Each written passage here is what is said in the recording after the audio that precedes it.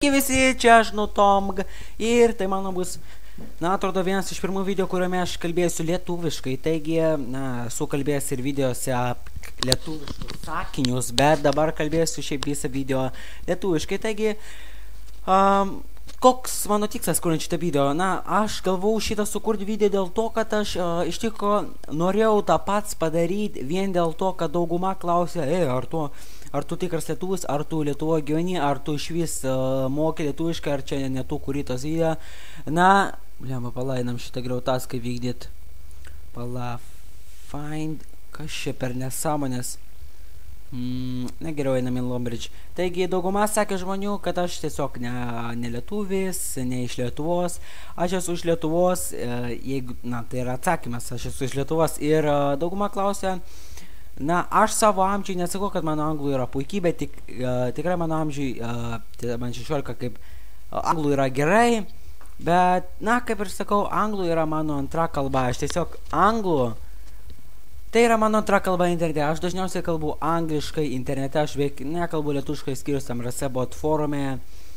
Ir taip tiesiog kalbu, kalbu anglų kalba, nes man tai patinka ir man jie geriau sekasi tiesiog kalbėti apie RuneScape ir daugiau žmonių pamato tos videos. Kai kurie sakė kurt lietuviškus video, bet apie RuneScape aš nelabai manau, kad uh, kurt lietuviškus video, nes jie yra nelabai tokie kokybiškesnį nei aš kurčiau lietų, angliškus, ta prasme, kad aš turėjau menį tą, kad jeigu aš kurčiau angliškus, ta, ta aš ir dabar kuriu, jeigu aš kurčiau lietuviškas, žmonės žiūrėtų mano video, bet aišku, aš gaučiau daugiau views nei dabar turėčiau, bet man būtų žymiai sunkiau po to plėtotis. Jeigu aš ir daugiau turėčiau subscriberių, aišku, aš nedarau šitą užsiemimą kaip darbą, aš skaitau lyg tai mano pomėgį, tai tas ir yra dalykas, kad e, mažiau žmonių žiūrėtų lietuviškus video nei angliškus, bet aišku dabar kaip mano anglų nėra toks pui, e, tokia puikiai, kad visi labai gerai suprastų, ta tai yra šiek tiek blogai. Antras dalykas, kalbant uh, RuneScape lietuviškai, tiesiog man nuobodu daros. Kodėl? Ne ta, kad nuobodu, bet tiesiog, žinot, kalba aš visur kalbu lietuviškai gyvenime. O anglų tiesiog aš mėgstu plėtoti mano anglų įgūdžius uh, kuriant video, tas yra dalykas, kurį tu išmoksti darydamas praktiką. Tai jo, tas apie pomėgis mano, kurį aš, jeigu neturiu laiko, tai kuriu aišku video, taip tai lankau dziudo. Tai mano pagrindinis užsiimimas, tai yra labai gerai, kieta, myliu tai ir jo. Taigi turim daryti task. Dabar kokį taską turim daryti? Taską dabar turim daryti.